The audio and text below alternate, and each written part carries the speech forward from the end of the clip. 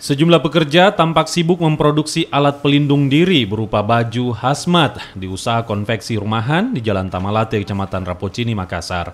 Produksi baju hazmat terdiri dari dua bahan, yakni berbahan dasar spanbon yang sekali pakai dan berbahan taslan atau bisa digunakan dua hingga tiga kali.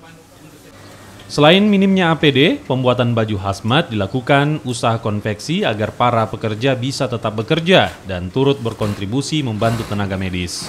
Uh, di sini kita lagi buat uh, APD namanya kak, itu alat pelindung diri atau yang biasa orang kenal dengan asmat, bahan asmat ya.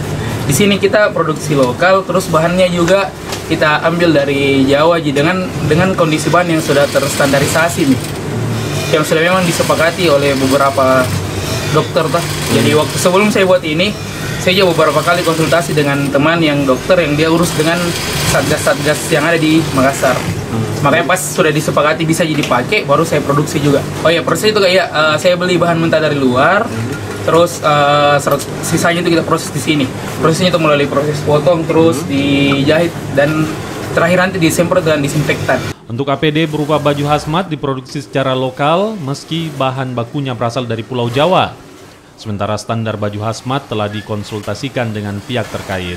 Dalam sehari, usaha konveksi ini mampu memproduksi 100 lembar baju hazmat. Tidak terlalu banyak kendalanya. Hmm. Tapi yang kesulitan yang ini apa sih? Kesulitannya di pasang resi, pasang resnya sama.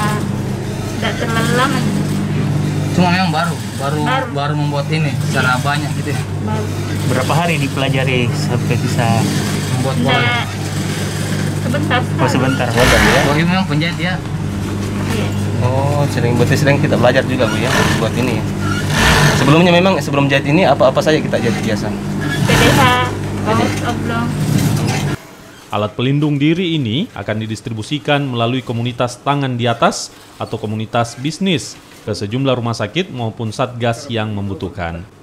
Arif Tirtana, Kompas TV Makassar.